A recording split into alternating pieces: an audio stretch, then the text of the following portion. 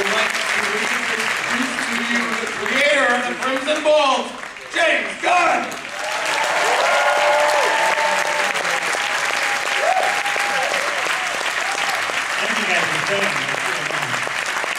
Uh, so I'd like to bring up some of uh, the people who helped me with this movie. First of all, uh, Rainn Wilson.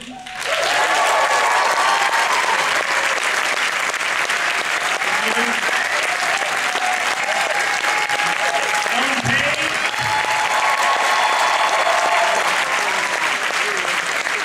Here's Liv Tyler. Sean Gunn. Stephen Blackehart. Don Mack. Ted Hope. Where's Ted Hope? And of course, Miranda Mills. Is everybody?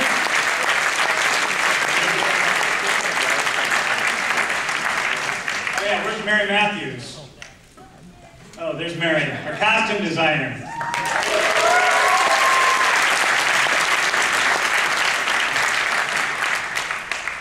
So, first off the bat, I want to ask you, um, outside of Crimson Bolt, who is your favorite superhero? You know, it's, I, I, I, I hate that question because my answer's so boring because it's Batman. I, I just, uh, I've always loved Batman. I think Batman's had more good comic books about him than probably any other superhero. And, uh, yeah, Batman. Stupid. I. I wish it was like, you know, I don't know, Bucky or something. Where, where did the idea for Crimson Bolt come from? I, I don't remember. I wrote the script so long ago. I just, you know, I originally wrote this script as it was going to be a short film. And I just wanted to tell the story about a person, a a movie that was about a person first and a superhero second. And I was going to do it as a short film. It was before I'd ever directed anything. I'm like, okay, well, I'll direct a short, show people I can direct. But then I started writing it, and it just got longer and longer and longer. And uh, it, it came, became what this is. And the script has almost not changed at all since I first wrote it in 2003. So um, that's, that's where it started. And for me, the really uh, amazing, I did not plan out any of the movie at all. And it just, uh, it just sort of came to me, especially the ending was um, almost like uh, my own sort of spiritual awakening.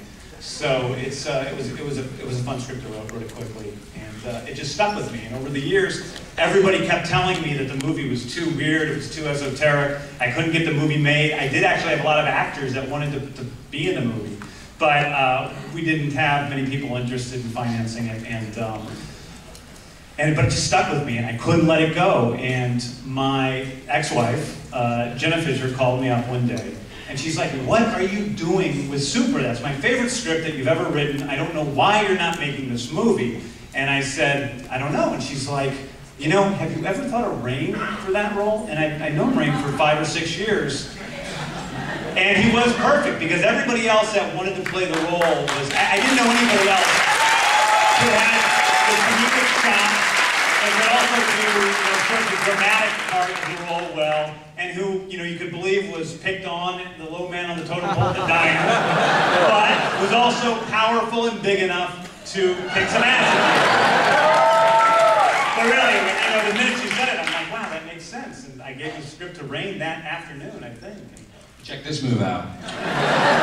um, yeah, that, the tail end, the converse end of that story was I was on the office set and Jenna was behind reception and was- she's like, "What's going on?" and was sitting there eating the little candies and and she's like, "You know, I just talked to James and."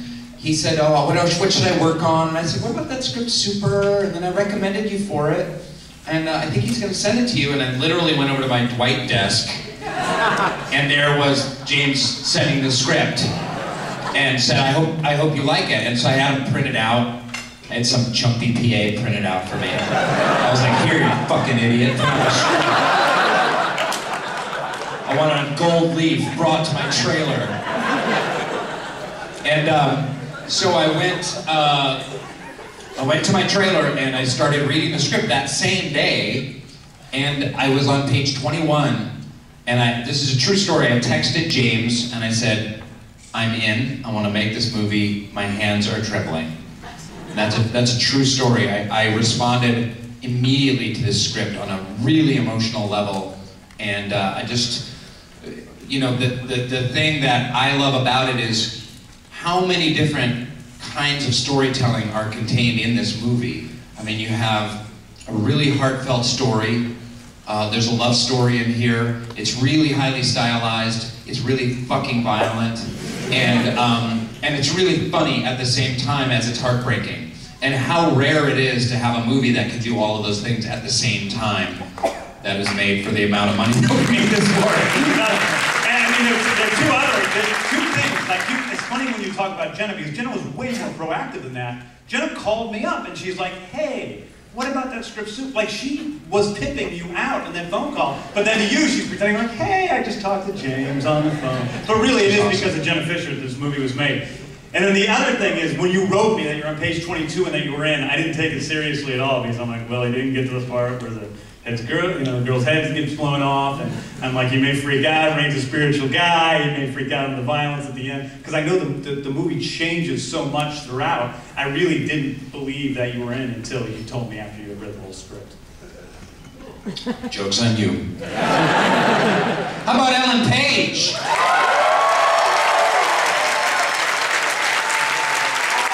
Canada's finest.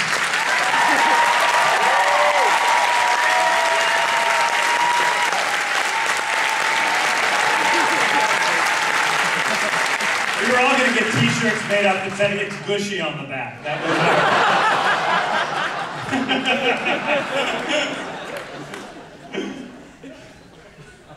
So what, what attracted you to the role? Um, what didn't attract me to the role? Um, well, you know, first I, I, I got an email from Rainn that was basically like, hey, I'm gonna send you a script and. Gushy you know, gmail.com. and, uh,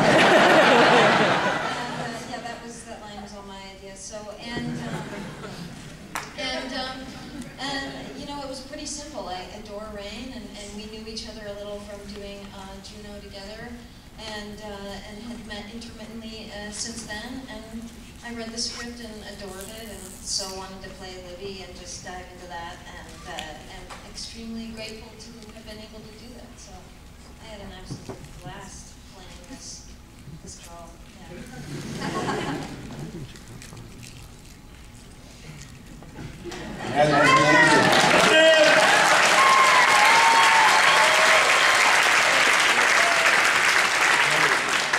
I read the script and a giant tentacle came out my head off and I was touched by the finger of God.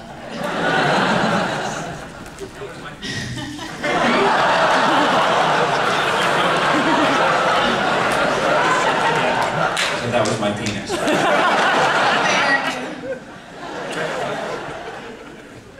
I just really loved the script and uh, I was really touched by it and really surprised and really excited to work with all these amazing folks. Sorry I don't have much of a voice at 3 in the morning. I'm a hard time talking. Yeah, that was uh, when Liv did. Liv was like sort of the final thing. I mean, both these guys came in, and it really was remarkably easy to get both of them. I mean, Ellen read the script, she liked it. We had lunch.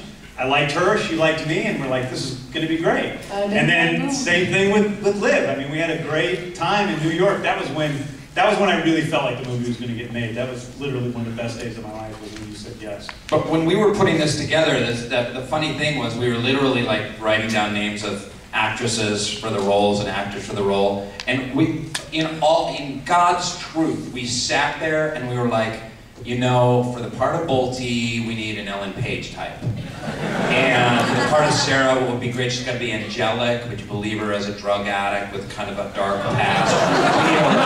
We need a, we need a Liv Tyler type. I swear to God. And so we were really like, well, we should at least just start with them, you know, just see what happens. What's the worst that could happen? Yeah. And uh, I remember giving the script to Ellen and then, you know, talking about all, it was like we just really gave it to her thinking it was completely a throwaway. It was not going to happen at all. And, and um, yeah. and uh, producer Ted Hope, this is actually his uh, second time in Midnight Madness, because actually one of the first, the first year I did Midnight Madness, we had a twisted little film called Love God. And Ted was the producer of Love God, and now we've got him back. What, uh, how did you get involved with the, uh, the project? Well, Rainn, uh, ma- master of uh, Twitter, actually tweeted uh, one day that he James underscore Gunn were going to go out with a effed up low rent Watchmen. And uh, I actually wanted to make a effed up low rent Watchmen. And uh, I called Rainn's agent, Lisa Hall- Hallman, and uh, said I have to read the script. And uh, it took him about six months to uh, let me climb aboard the team. It did. It- Ted was really, Ray and I were like, we don't want a producer, we just want to get the movie made, we want financing, if you have money, then we'll talk to you, but we don't want a producer. But Ted literally would not give up. And he got our email somehow, and he just kept going and going and going. And finally, we were like, wow, somebody who feels as passionate about the script as we do, so let's And, make uh, it a, a threesome. the remarkable, the remarkable thing was, was we came here last year, you know, I think we were still wondering, like, is Liv gonna do the movie? I wasn't sure it was gonna happen. And uh, we'd sent it out to a bunch of different buyers. We thought we had nine or ten folks who were going to help us with it. I happened to get to sit down with Miranda, I, it was in front of a convenience store some, somewhere, saying like, you know, I have this great project, I don't know what to do, blah, blah, blah, blah, blah. Miranda said she, you know, could help out a little bit, maybe, you know, on it, and, uh, Yeah, no, and then he gave me the script, and I was like, oh, God, I want a script I have to read this weekend. And I read twelve pages, and I called him, and I was like, yeah, I like it so far, I think, I think it's as good as it is right now, we're good. And to me, it was kind of a no-brainer. It was a great cast. It was a brilliant script. And, you know, I always wanted to work with Ted and James, so I did it.